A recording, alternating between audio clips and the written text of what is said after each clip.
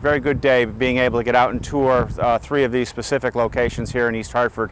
40 years ago, I graduated from what then was East Hartford High School, and you could still see remnants of the walls and the glass and some of the, uh, some of the older, if you will, uh, less energy efficient uh, window air conditioning and so forth. Can't even begin to imagine the huge economic savings they'll have with heating and air conditioning for that particular site. In uh, 2014, I was able to secure $1.5 million for the refurbishing of the track and field for the uh, athletic facility.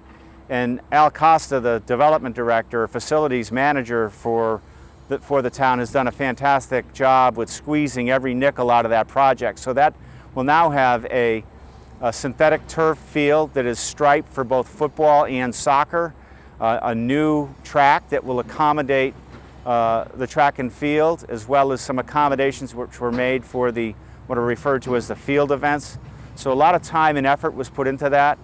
I believe that they'll save a ton on maintenance because of the, that infrastructure improvement, and it will be a, a hallmark uh, for the town of East Hartford, and particularly for the kids and for the community. I always find that these athletic fields and these places of enjoyment bring the community together and really that's what's important for us here in East Hartford is making sure we have that community of people coming together here for us. And over here at Hockanum, they've reshifted the entire focus of this building, effectively have given up the, uh, the what, what we refer to as the everyday elementary school curriculum, and now they have the, you know, a pre-K opportunity here, a school-based health center here.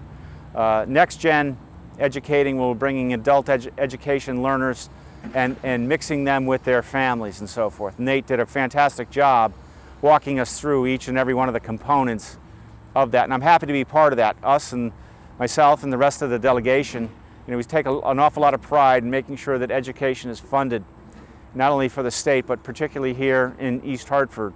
And uh, we're very proud of that.